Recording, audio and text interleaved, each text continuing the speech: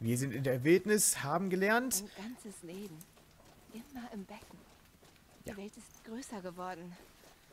Aber auch gefährlicher. Genau, kannst du mich bitte nicht unterbrechen? Wir haben gelernt, Maschinen zu übernehmen, zu reiten, zu kontrollieren.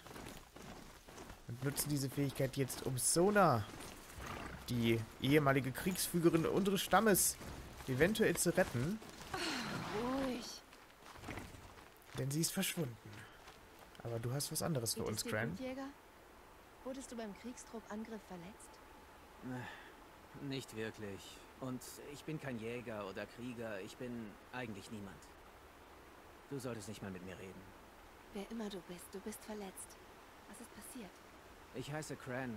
Ich wollte mich an den Prüfungen im Jagdgebiet hinter der Anhöhe versuchen, um, naja, besser zu werden. Es, äh, lief nicht so gut. Du wurdest in einem Jagdgebiet verletzt? Wie? Also, ich zielte gerade auf den Behälter auf dem Rücken eines Läufers, da riss meine Bogensehne, ich stolperte und... Ach, vergiss es. Es, es war nicht schön, okay? Ich wollte nur etwas trainieren und wo geht das besser als in einem Jagdgebiet?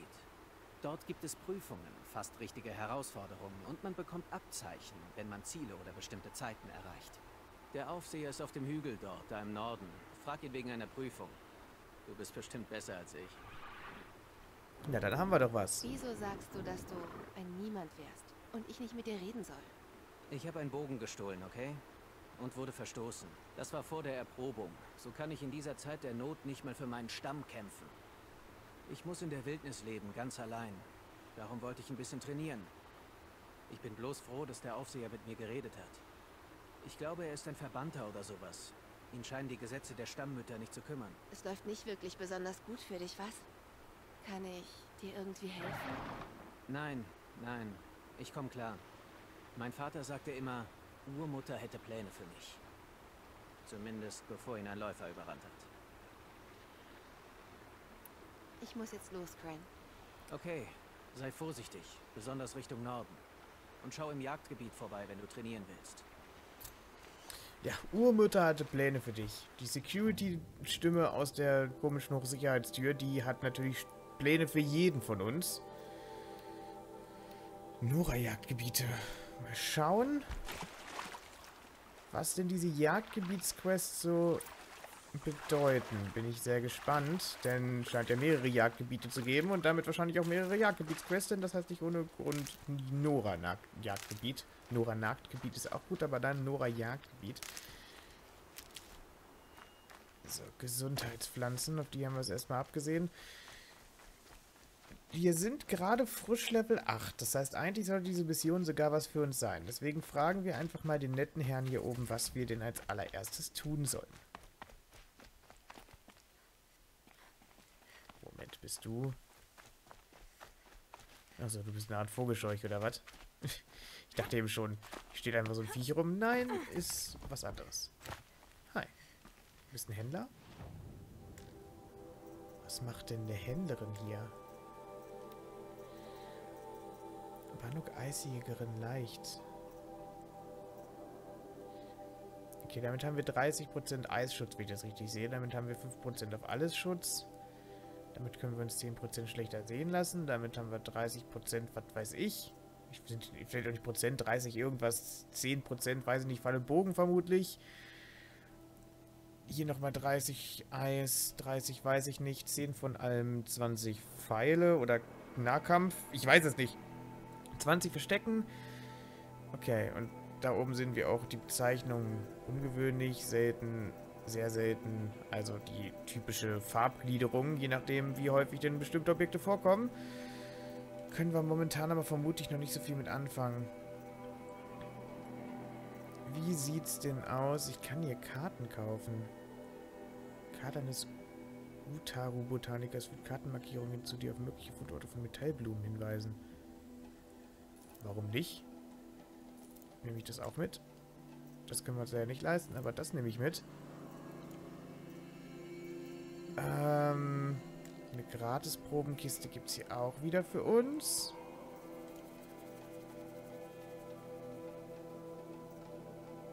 Was mich jetzt halt verwirrt. Ich hätte jetzt gedacht, vielleicht kann ich hier besser, größeres Inventar oder so kaufen, aber scheinbar nicht. Hey, mit dir wollten wir reden. Ich sprach mit Kren. Er sagte, dies sei ein Jagdgebiet, um sein Können zu testen. Armer Kren. Nicht der beste Jäger, aber das macht ihm nichts aus. Hm, trägst ein Sucherzeichen. Ich dachte schon, die gibt es gar nicht. Du hast tatsächlich die Erlaubnis der Stammmütter, das heilige Land zu verlassen? Ja, aber ich wäre sogar ohne die Erlaubnis gegangen. Wirklich? Dann können wir vielleicht offen reden. Es ist so, ich bin hier für die Kaja. Ich vertrete eine Organisation namens Jägerloge. In Meridian. Wir testen das Können junger Jäger an Orten wie diesem. Du könntest genau die Person sein, die wir suchen. Versuch dich doch mal an den Prüfungen. Doch damit eins klar ist. Ich würde begrüßen, wenn du unsere Unterhaltung geheim hältst. Besonders gegenüber den Stammmüttern. Aha. Du dürftest gar nicht hier sein, oder?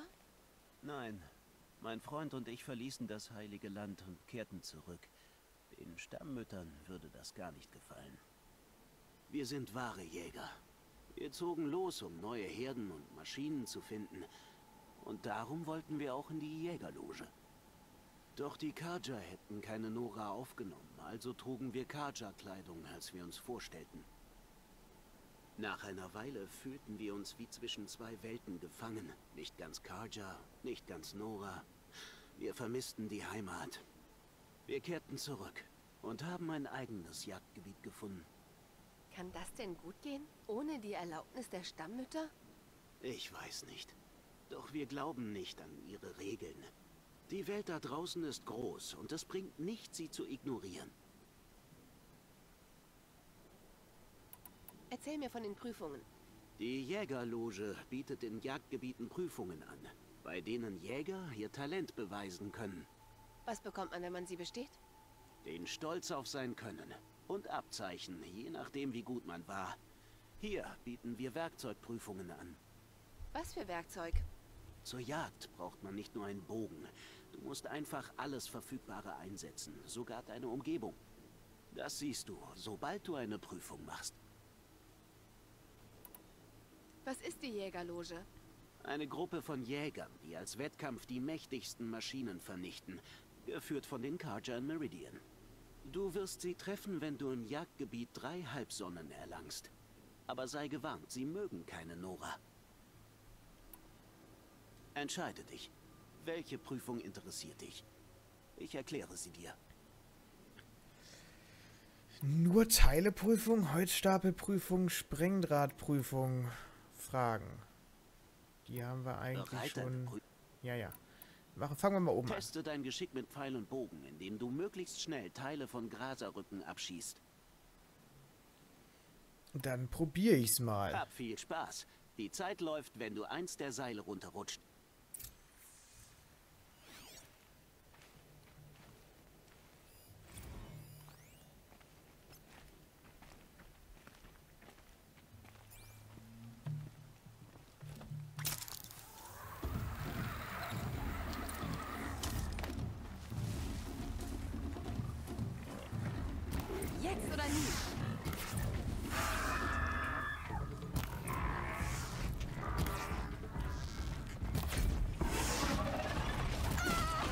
Oh, hey, ihr seid auch da. Das ist natürlich nett von euch.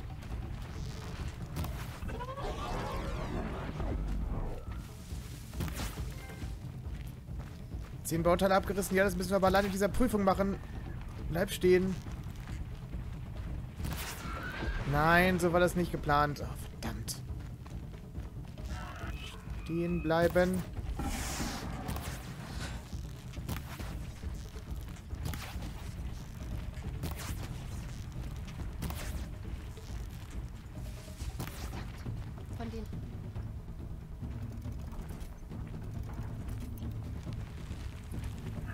Das wollte ich nicht.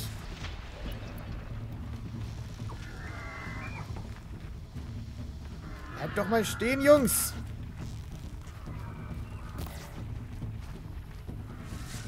Oh, ich glaube, das läuft nicht so gut.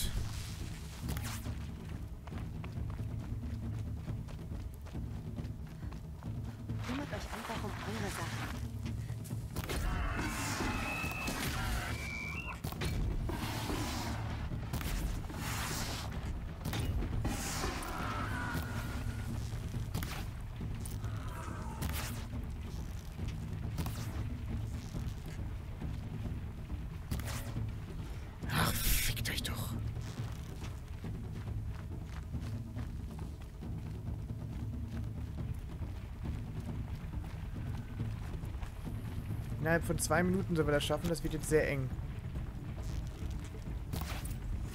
Eins noch! Ah, so eine Scheiße. Neun haben wir in der Zeit gehabt, ey. Na gut, innerhalb von 20 Minuten will ich es ja wohl schaffen. Vielleicht doch nicht.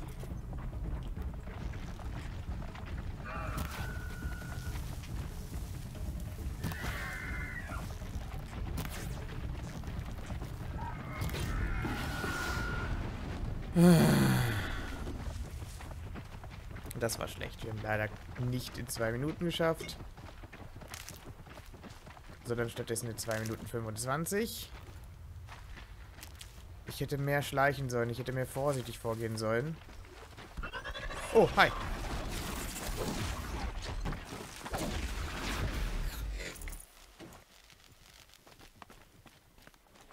Nicht schon wieder. Wie komme ich denn hoch zum Chef?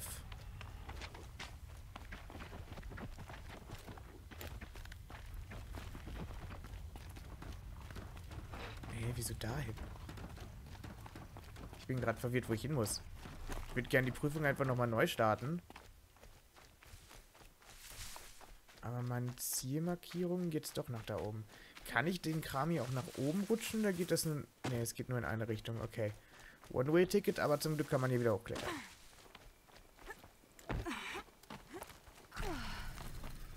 Gut. Dann noch mal. Ich war leider 25 Sekunden zu langsam. Weil ich einfach nur blöd hinterhergerannt bin. Das können wir besser machen. Das erste Mal und sofort geschafft. Hier eine Halbsonne. Wenn du etwas schneller wirst, kriegst du eine Vollsonne. Und ich brauche nur drei Halbsonnen. Das heißt, rein Teste dein theoretisch... Geschick mit Pfeil und Bogen, indem du möglichst schnell Ja, ja. Rein theoretisch haben wir das schon geschafft, was wir schaffen sollen. Aber in 20 Minuten sollte das, glaube ich, jeder hinkriegen. Aber es gibt ja noch was Besseres als eine Vollsonne.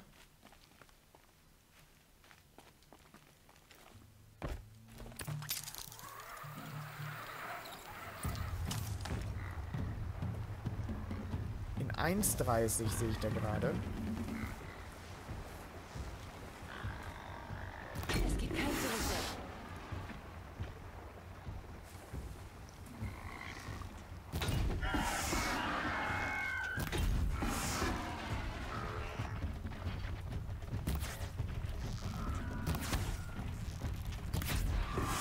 Sehr schön, vier Stück haben wir.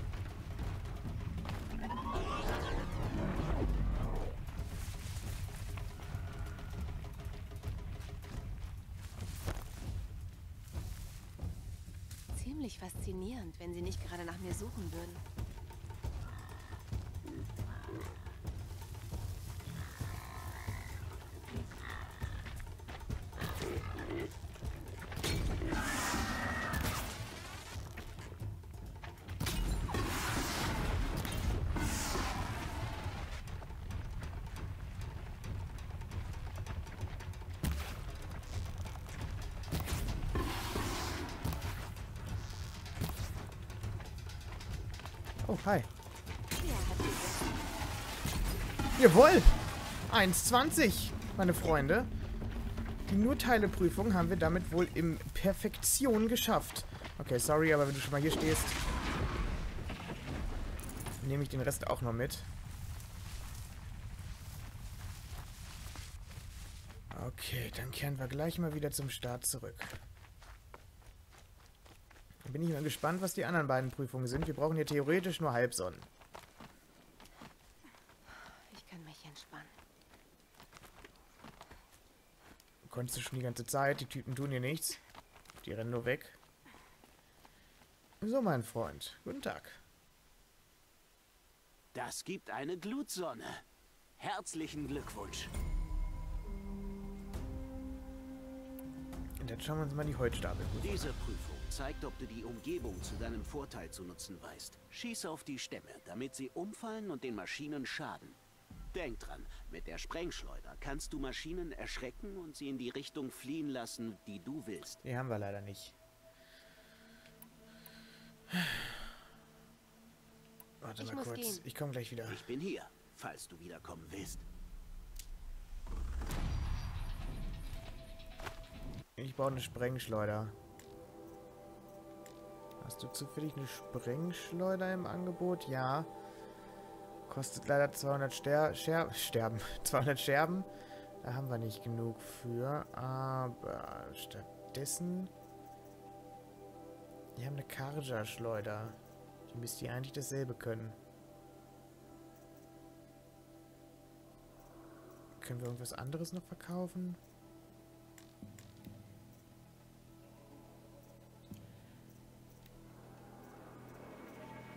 Nicht unbedingt. Modifikationen haben wir welche, die wir bislang noch nicht benutzt haben. 21% Schaden. Abriss. Für den Gegnern was abreißen oder was? Pfeile und Tränke haben wir noch einen Genesungstrank. Ja, wir kommen auf keinen... Also wir würden vielleicht auf 200 kommen, aber... Was ist deine andere Prüfung, die du noch hast? Du willst es noch einmal probieren? Was ist mit die Bei dieser Sprengdrahtprüfung? Prüfung musst du Graser mit Sprengdrähten erlegen. Aber dazu brauchst du die Karja-Stolperfalle und Munition. Mein Freund hier verkauft das vielleicht. Karja Stolperfalle. Ich muss gehen. Komm wieder, wenn du willst.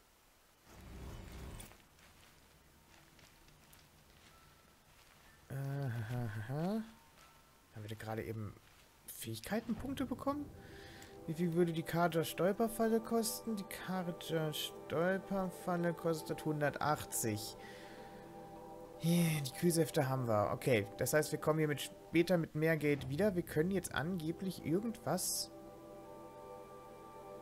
Wir können Waffen modifizieren. Wie wäre es, wenn wir einfach mal unseren Karja-Boden hier modifizieren und dafür den Schaden und den Abriss reinpacken. Außerdem können wir unsere Rüstung modifizieren. Da können wir entweder Eisschutz oder Verderbnisschutz. Bislang haben wir noch keinen Eisschaden bekommen, deswegen mache ich erstmal Verderbnisschutz rein. Fallen und Tränke.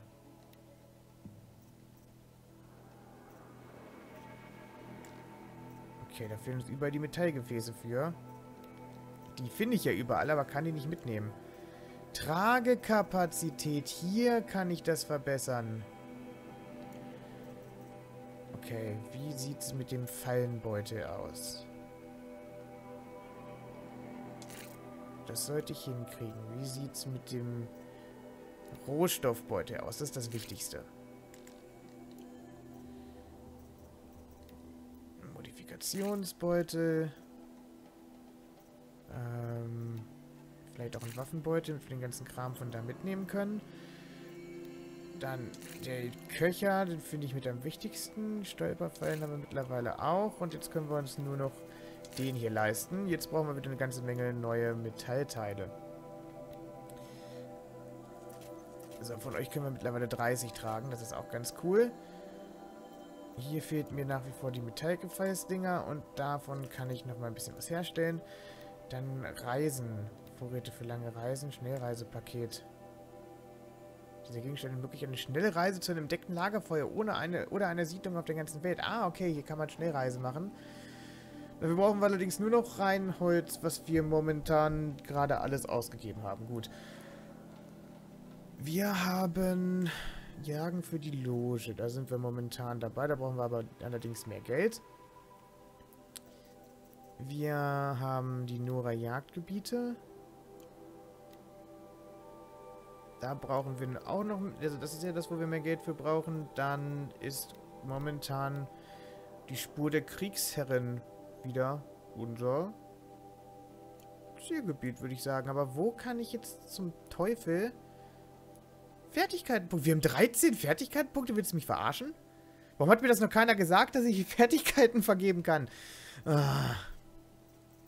Also, entweder drücke R1, um kleine Maschinen und Menschen lautlos zu erledigen oder größere Gegner schweren Schaden zuzufügen. Das wollte ich schon die ganze Zeit machen, hat nicht funktioniert, weil ich nicht wusste, dass, es, dass man das machen kann hier. Beim Ziehen während des Springens oder Rutschen verlangsamt sich die Zeit. Zelda Breath of the Wild Style, nur dass dieses Spiel hier vor Breath of the Wild rausgekommen ist. Das Landen nach einem Sturz oder Sprung ist völlig lautlos und macht arglose Gegner nicht auf dich aufmerksam. Ich würde sogar hier einen Punkt und da einen Punkt reinschmeißen. Verwendet beim Zielen, um die Zeit zu verlangsamen. Definitiv. Ähm, kostet er ein, drücke er 1 für einen Angriff der Gegner am Boden stark beschädigt. Auch gut. Leichte Speerangriffe schlagen wahrscheinlicher Rüstung und Bauteile ab. Locken. Schnellere Heilung aus dem Medizinbeutel. Zusätzlich natürliche Rohstoffe beim Sammeln. Chance auf mehr Rohstoffe beim Plündern von vernichteten Maschinen, wenn unser Beute größer ist. Nee, dafür reiten wir nicht oft genug. Zerlege Ressourcen und Modifikation 50% ihrer Metallscherbenwertes. Äh, was haben wir hier noch? Ducken macht dich für die Feinde schwerer sichtbar.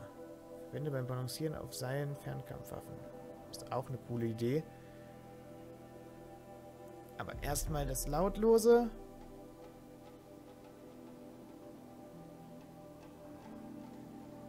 Da können, gehen wir jetzt richtig in Richtung Batman-Style. Schlag von unten.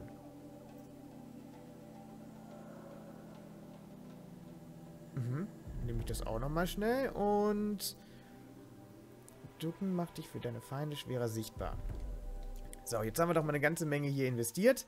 Jetzt sollten wir doch auch deutlich besser sein, denke ich mal. Nachdem wir das hier alles mal gemacht haben. Jetzt ist unser Ziel allerdings in die Richtung. Und zwar ziemlich weit weg. Sorry, Leute, wir kommen später, wie gesagt, wenn ich Geld habe, wieder. Besten mich einfach runterjumpen.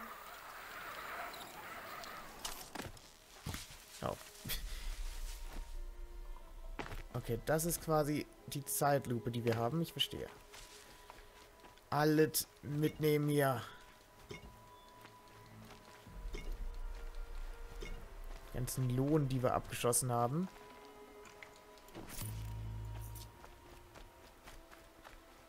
Und Stöcker brauchen wir wieder ohne Ende. Da haben wir jetzt hier auch zum Glück die Modifikation reingeballert, dass wir davon mehr finden können. Oder? Ne, haben wir nicht. Weil ich gesagt habe, dass ich dafür erstmal... Das kann ich bestimmt bald gebrauchen. Dass ich erstmal Dingens brauche, erstmal größere Beutel. Einen neuen Händler haben wir entdeckt. Und so auch gleich eine neue Sidequest. Wir werden niemals ankommen. Eine Leiche vor ihm auf dem Boden?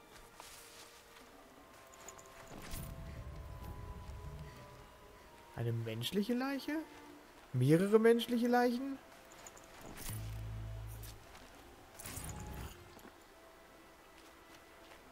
Junge? Was geht ab? Voraus lauert Gefahr. Gefahr für dich, Fremder.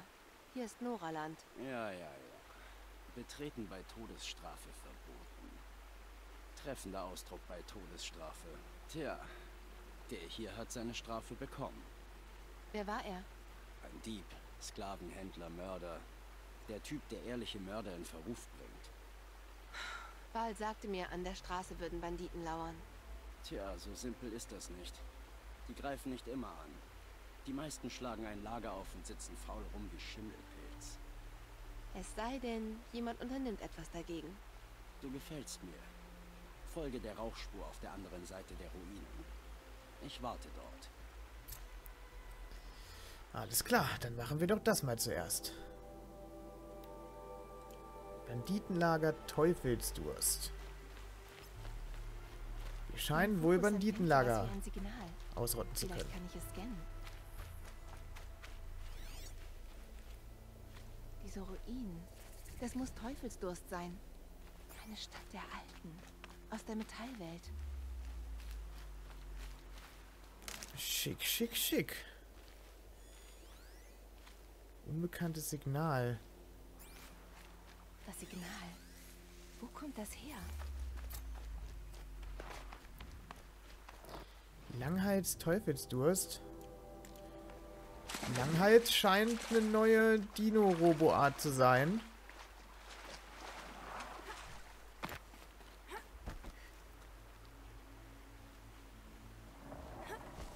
Gehen wir da mal näher hin.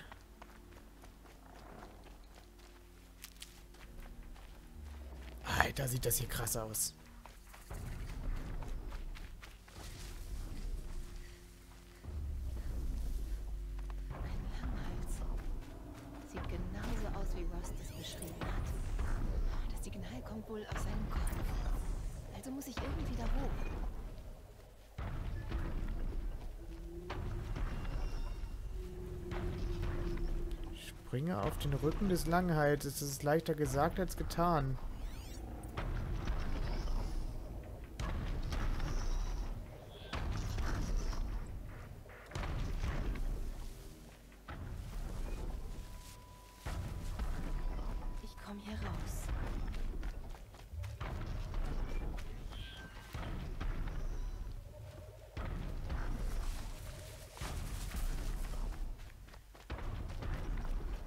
Okay, gehst du jetzt die ganze Zeit hier im Kreis?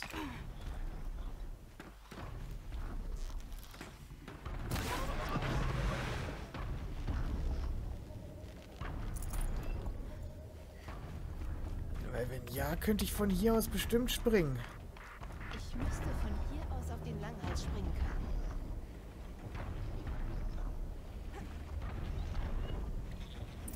Geschafft. Und jetzt hoch auf seinen Kopf.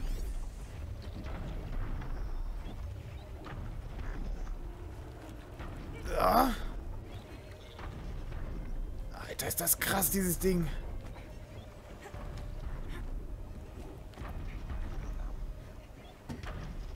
Scheint wohl aber ein friedlicher zu sein, oder?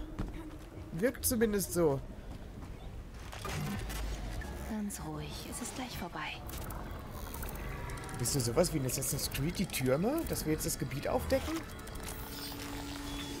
Oder wie in Breath of the Wild die Türme?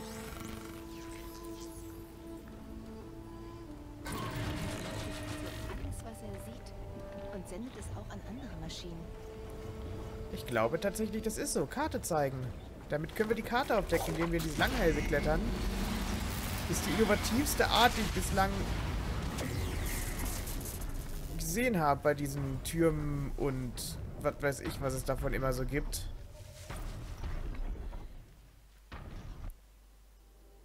Okay, Datenpunkt, was auch immer. Ähm, zurück auf die Quests. Auf die Aufträge. Ersten Langhals überbrücken Banditenlager.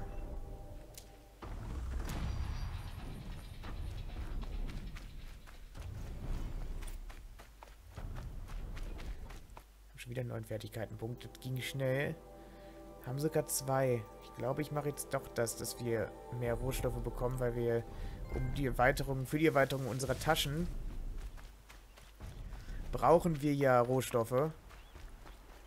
Nämlich diese hier. Und jetzt bekommen wir immer noch zwölf. Sechs. Ja, vielleicht bekommen wir trotzdem durchschnittlich etwas mehr. Das wäre ganz schön. Das sieht so geil aus, alles hier.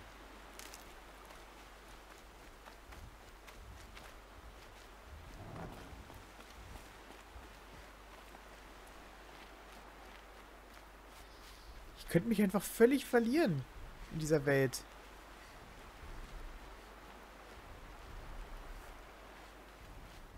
Unglaublich.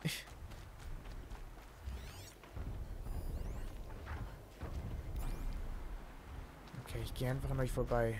Ich gehe erstmal zum Rauch, äh, Rauchsignal.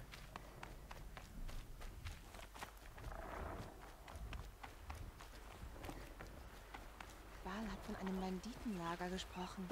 In einer Metallruine. Das muss wohl das Lager sein. Ich sollte lieber die Augen offen halten. Eine Forelle. Gut, aber für das Banditenlager haben wir in diesem Part wohl leider keine Zeit mehr. Was ist das da? Ist das das Rauchsignal, zu dem wir sollten? Ich glaube, das ist das Rauchsignal, was er meinte.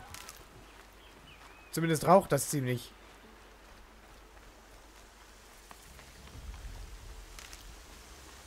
Banditenlager entdeckt. Ja, tatsächlich sind wir genau dahin. Für mich. Okay, haben unfassbar viel von dem Zeug gefunden. Bevor wir im nächsten Part weitermachen, schaue ich mal ganz kurz. Was brauchen wir? Wir brauchen Metallscherben. Mehr Reinholz haben wir mittlerweile schon wieder genug. Okay, das heißt, als nächstes möglichst viele Gegner erledigen, um Scherben zu finden. Und wie gesagt, da machen wir im nächsten Part weiter. Ich hoffe, ihr hattet Spaß. Schaltet auch beim nächsten Mal wieder ein. Bis dann und auf Wiedersehen.